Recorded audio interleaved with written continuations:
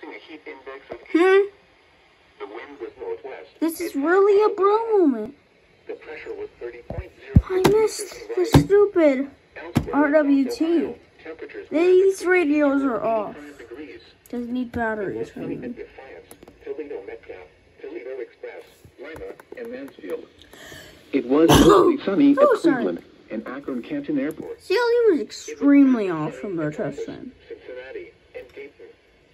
They did this at basically tw- I don't know, seven minutes ago, fifteen minutes ago. Because the real time is about 15 minutes ago.